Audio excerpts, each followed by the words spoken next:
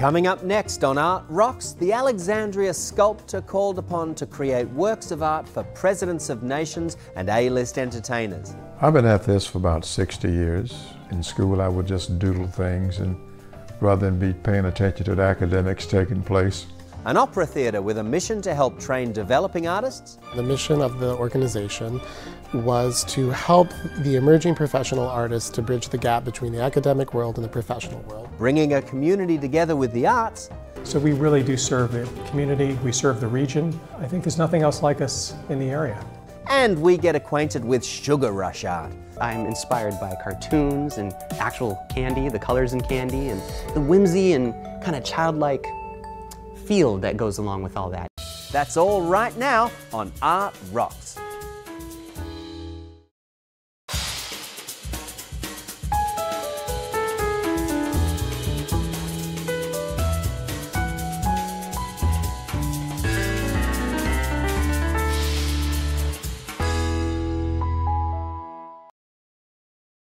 Art Rocks is made possible by the Foundation for Excellence in Louisiana Public Broadcasting and by viewers like you. Hello, and thank you for joining us for Art Rocks. I'm James Fox Smith, publisher of Country Roads Magazine. First up, meet Alexandria, Louisiana artist Morris Taft Thomas. His fans have included folks like Nelson Mandela, Alex Haley, and B.B. King. And just recently, former President Jimmy Carter ordered one of his pieces. As you get to know Thomas's work, it becomes easier to understand its popularity.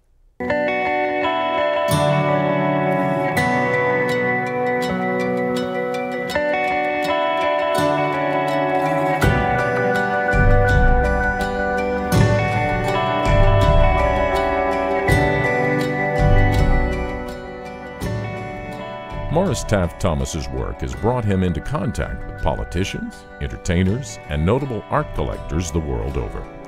They've come seeking his creations in wood, clay, paint, iron, and other metals. The artist has excelled in everything he's tackled. But that success comes from decades of practice. I've been at this for about 60 years. In school, I would just doodle things, and rather than be paying attention to the academics taking place, I was sketching. I got disciplined quite a bit on that. I walk outside and look at the clouds and saw the cloud formation, the cumulus cloud and other clouds making shapes and making forms. And I'll get a piece of clay and look up there, man, and try to emulate what I saw in the clouds. Thomas's interest in art led to him being introduced to the great Louisiana sculptor Frank Hayden while Thomas was still in high school. Walking in the studio, I look at all those massive things in clay that he was working on. And I asked, could I touch it? He said, no, you're going to do better than that. He said, here's a piece of clay. He said, go apply it to the one I'm working on now. I was petrified, but I did it. And uh, from then on, I was, the bug bit me as to, you have potential becoming a sculptor. Thomas went on to study art in college and later learned to weld, a skill that has led to the creation of some of his most visible works, like the butterflies swarming around this floral arrangement. This piece will be part of the permanent collection at the LSU Museum of Art. Another of Thomas's pieces is a permanent fixture at the LSU Library in Alexandria, and this one on display at Southern University in Baton Rouge. I try to implement creatively in, in my sculptures, and especially metal sculpture, is to show movement in a static position. Uh, this is done by uh, arranging the figure or the composition where the viewer will look at one section or one portion and the eye will inadvertently move around the entire composition. In doing so, you'll capture what you want to do in terms of, of uh, bringing out the movement within a, a, figure that doesn't actually move. The dancer. Uh, that comprise 42 pieces of metal welded together. It takes some skill, takes some time. That is not just pulling the trigger. A delicate touch. If you get too close to it, it's going to burn all the way through. Thomas finds inspiration from many sources. The Lion Dance uh, was a vision of my seeing a group of 12 men on the stage in Lafayette, Louisiana, International Festival. They hunted lions. And so they did a lion dance, and the stump that they did would radiate, you could hear it almost a quarter of a mile. It was just that rugged. So, what kind of sculpture would he create for the late South African president Nelson Mandela? The magnolia, in addition to several masks that I designed for him, one in steel and one in mahogany. President Carter wanted the popular magnolia. I said, how large you want it? He said, Lord, you can make it. I said, I can make it as large as you want it. So this was about maybe 18 inches uh, in one direction, maybe 19 to 20 inches in the other direction. We're in excess of 12 or 14 pounds.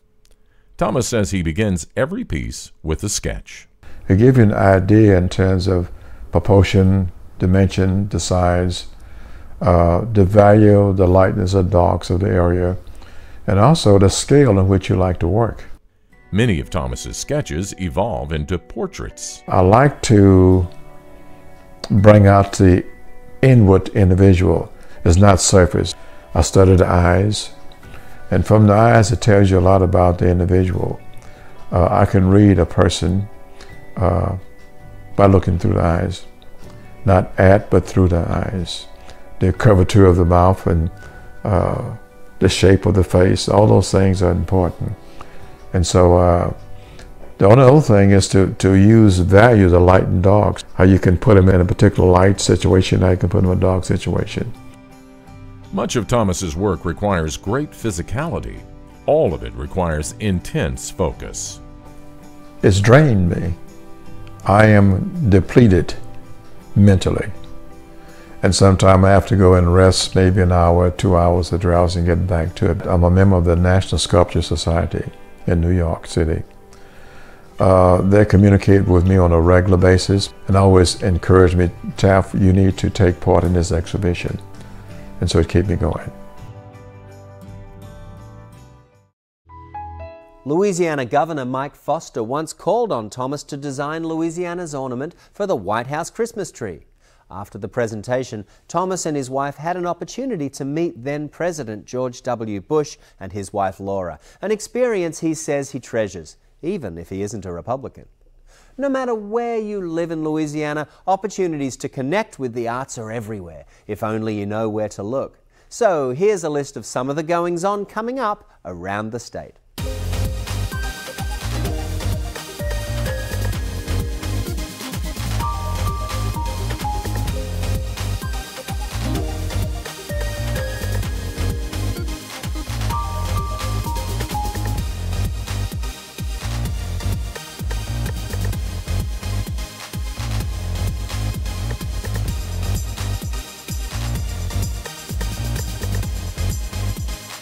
To learn more about these and other events in Louisiana, visit lpb.org slash artrocks or pick up a free copy of Country Roads magazine. LPB's Art Rocks website also features an archive of previous episodes, so to see any segment again, just log on to lpb.org. Now we're off to Michigan, where the Arbor Opera Theatre in Ann Arbor is using opera to combat the stigma of depression and other illnesses. Recently, the group performed an adaptation of La Traviata with the goal of increasing awareness of mental health issues. Arbor Opera Theatre was founded in 1999 by three singers who had finished their schooling and were looking for professional level performance opportunities. The mission of the organization was to help the emerging professional artists to bridge the gap between the academic world and the professional world. For the first, oh, I'd say seven or eight years that the company existed, the, that was really the focus. Just how can we provide these experiences for singers and I think also to provide the community with an extension of the existing arts programming. We incorporated and produced our first opera, Lucia di Lammermoor, in 2000, and have typically done an opera each June, along with chamber operas, recitals, and cabarets throughout the rest of the year. AOT decided to do this particular adaptation of La Traviata to draw awareness to the stigma around mental illness that often results in uh, suicides. And we were influenced by the death of Robin Williams, and also some of us had experienced suicide in our own families.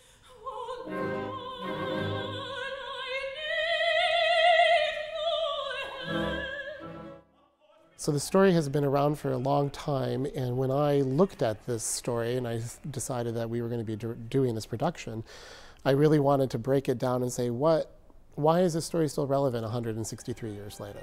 Why are we still, why do audiences still like it? It has this beautiful music, but there's more to it than just the music.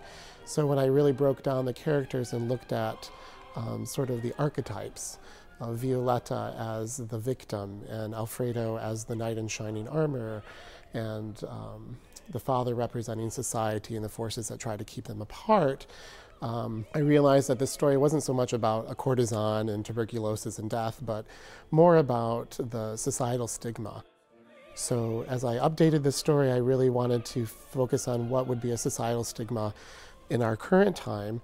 And as I sort of queried with people and asked them what they thought that was, um, many ideas came up, but the theme of mental illness kept coming up over and over again. To tell the story in this way about something that affects so many people, depression, anxiety, um, you know, not just bipolar disorder, but any sort of mental illness, it's, it's, um, you know, it's a, it's a profound thing to have someone in your life who's affected by those or to be affected by those things. Um, and to share that story through this incredible music, so beautiful, but to share this um, in a way, I think it's going to touch a lot of people and be a really cathartic experience for both those of us in it and the audience.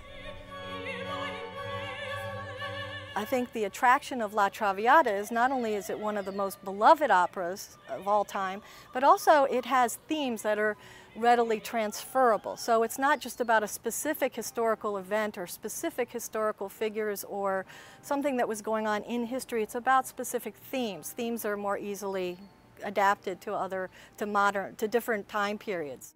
I actually knew the La Traviata story. I knew about its theme. I knew about the turmoil. I knew about Violetta's death, the stigma that kind of led to the problems that she had had with family members of someone she loved. And we needed to adapt it to the current day and age to change the story. So that was done with the goal of making it relevant to what the National Network of Depression Centers does, which is to attack depressions and bipolar illnesses. So in this rendition, this adaptation, she has bipolar illness, and that's what we're using the bringing together of, of art, music, and science to really move us forward.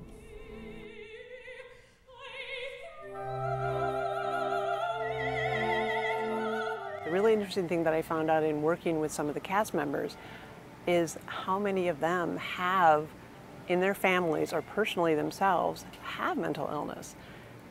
And it was really interesting to hear what they said. One of the one of the cast members talked about how really emotional it was for her at rehearsals because this was so personal and this hit so close to home. Mental illness actually runs in one side of my family. I have, um, I have a, a, grandmother who's bipolar, and uh, her sister was schizophrenic. Um, my mother and I both have struggled with depression on and off, anxiety. Um, when I was younger, I actually struggled quite a bit with, um, with cutting and with self mutilation. Oh, that's kind of hard to uh, admit and to talk about on camera. Um, but what better place to, you know, to shake that for myself too than with this production. Um, that was something that for me was a long journey. So you have an illness that's treatable, but people are reluctant to often go get help. Why is that? Because there still is a bit of prevailing shame. We're making progress, but that stigma gets in the way. Uh, as sometimes I'm fond of saying, I don't like it, but stigma kills. And in some cases, people who don't get treated even get so much in despair that they die of suicide. So uh, we're trying to essentially use a medium of art and music to send a signal that moves people emotionally as well as scientifically to understand better while going into a framework of I'm going to be a voice to take these things on.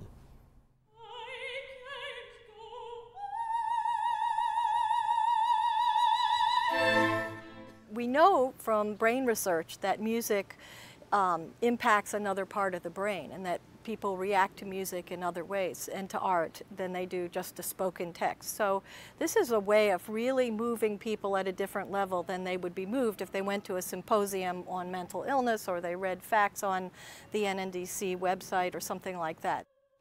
And inevitably, this and other approaches like this are the way that you cut through stigma. We've got to talk about these things.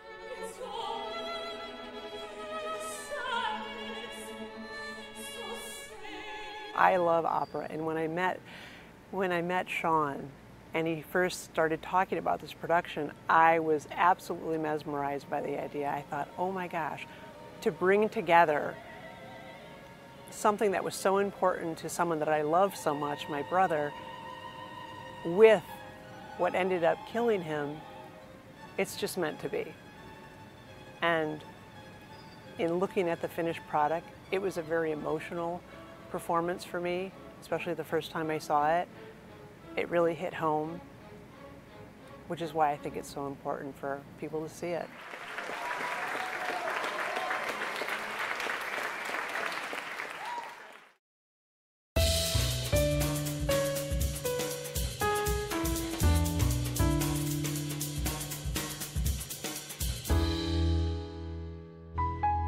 Travelling now to New York, where Troy is home to the Arts Centre of the Capital Region. For more than 50 years, the Arts Centre has provided a vibrant space for artists and community members to explore their creativity. Join us now as we go inside the facility and watch the artists at work. The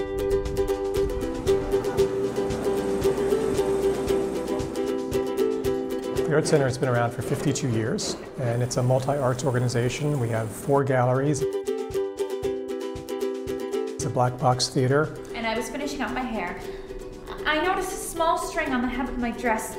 And classes in the arts, everything from culinary arts to pottery. We serve a wide range of ages from six-year-olds to 96-year-olds and a wide range of economic backgrounds from people who can pay the tuition and those who need financial help. So we really do serve the community, we serve the region. I think there's nothing else like us in the area.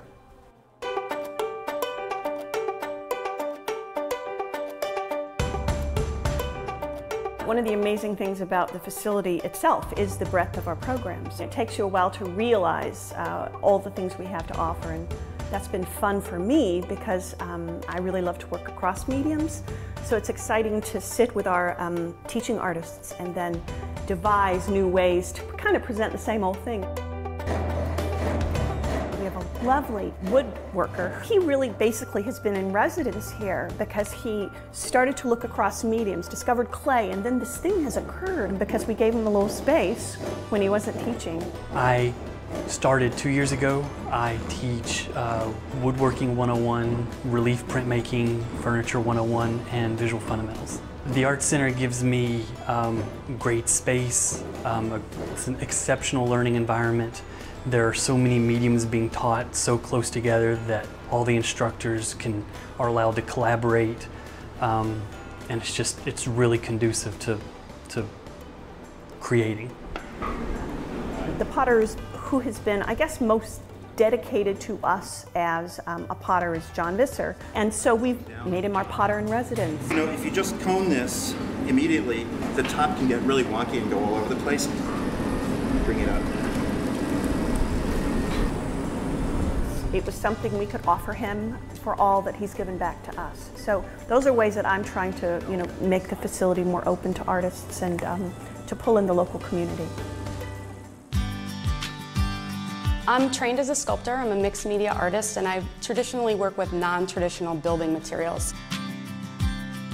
I am lucky enough to work at the Art Center now for the next six months, writing an artist in residency program, which will be a new program allowing local artists or Capital District artists to move into our space here at the Art Center, create a new body of work, and work to build a little community outreach. I was meeting with one of our teaching artists and he's a puppeteer. He wanted to actually learn how to make a stop motion film and to create the armature and the set. And so we gave him the space and made him our first artist in residence. And now we have just welcomed in Claire Sherwood, another local artist, And she, uh, part of her responsibilities is to actually develop that program and to make it more codified so then we can make out a call. Artists who have re um, residency opportunity will be able to move into the studio, have 24-7 access. Um, they can have access to any of the facilities here in the Arts Center. The Art Center is really a really important um, cornerstone of the community right now, especially with all the education cuts happening in our public schools. I think it's really important for artists to be involved in the community, giving back to the community. It's part of our job as artists to kind of feed into that cycle of creativity, and the Art Center is one place in the Capital District that does a really great job of that. If you can't come here and get excited, then I don't know. I, I, I think you should just try and wake yourself up because there's just so much to do here and so many different ways to, to make something. Bringing it back home now for our Louisiana Treasures segment. Many of us watched in awe the Academy Award winning movie 12 Years a Slave, which is based on a true story that unfolded in central Louisiana in the years leading up to the Civil War. A house closely associated with the film is open to the public, and if you're in Alexandria, a visit is not to be missed.